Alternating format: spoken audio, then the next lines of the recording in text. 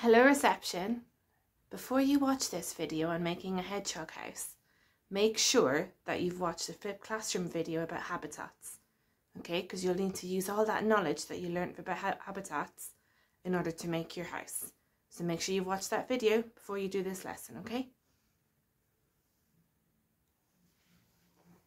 Okay, so to make your hedgehog's house, you're going to need to gather some things from around your house or from your garden if you have a garden, okay?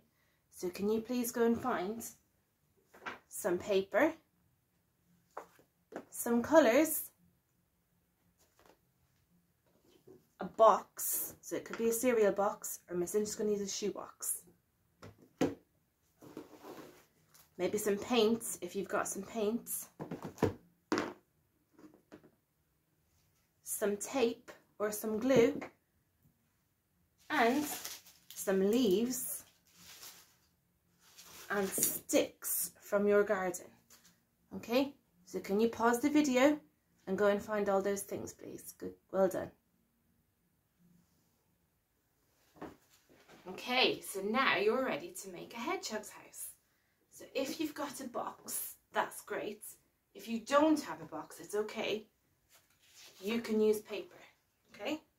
So first I'm going to show you how to do it with a box, and then I'll show you how to do it on the paper, okay? So to make your hedgehog's house, we need to make him a door, okay? The first thing you do is you need a pen or a pencil, and you need to draw on your door, onto your hedgehog's house. Okay? Now, you could try and cut it out. Uh, and it might be easy if you use a cereal box because the cardboard is thinner. Okay? So you cut out your door. But what Miss Lynch is going to do is she's going to use the lid as the door. So my door comes off. Okay?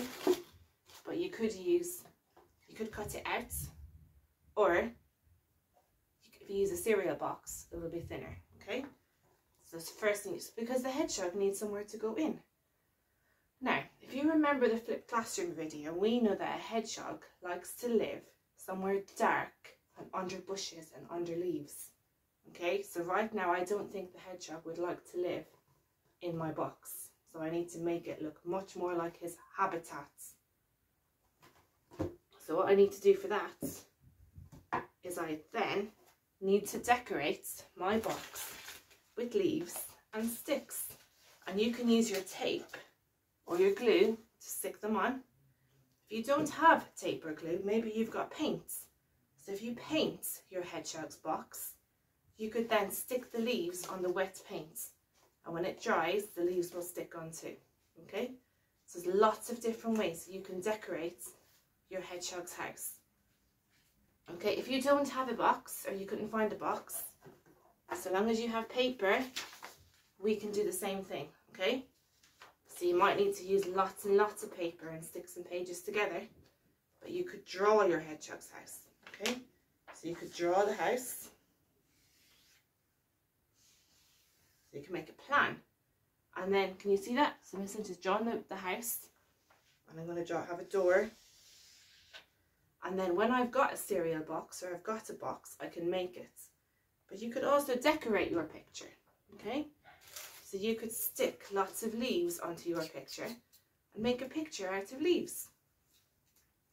So if you're going to use a box, we need to make sure we cover it with leaves and then we need to make sure we put lots of sticks on it as well. Okay, so if you don't have any sticks or any leaves, you can also use your paper to make some. So how we do that is you need, need your pen. You might also need a scissors. Okay? But don't worry, if you don't have a scissors, there's another way of doing it too. So, you could draw some leaves on your paper. Okay, so Lynch is going to draw a big leaf like this. You see?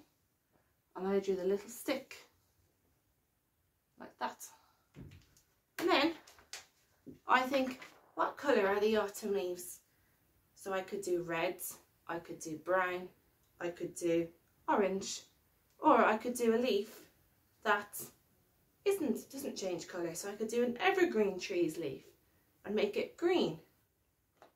So for this one, I'm going to make it brown, okay? So I need to colour it in brown.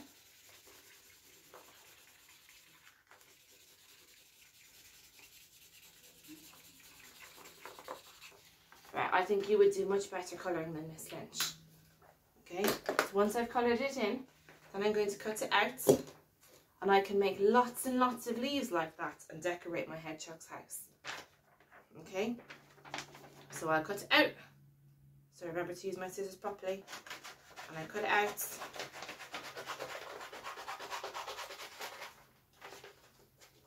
I cut it out really carefully, taking my time to make sure I do it properly.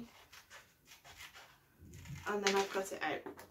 Okay, so I could make brown leaves, yellow leaves, all the different autumn colours. And I stick them then onto my box or onto my plan of my hedgehog's house. Okay, and when you've done that, then what you need to do is once your house is all decorated, you need to hide it. If you've got a garden, hide it somewhere in your garden that's dark, in the bushes, and then keep an eye to see if you see a hedgehog. Okay, but remember, hedgehogs might be sleeping in the daytime. So you might need to have a little peek out of the window at night time. Or maybe if you're very brave, go outside and have a look when it's dark. Okay, but put your hedgehog house somewhere where, where hidden in the garden. If you don't have a garden, maybe we can keep it and we can hide it in school when you come back to school. Okay, I can't wait to see all of your amazing hedgehog houses, whether you do the plans or you do a box on tapestry. Okay, so make sure you share it on tapestry and then tell me if you're going to bring it to school or if you've hidden it in your garden. Well done. Can't wait to see them. Take care.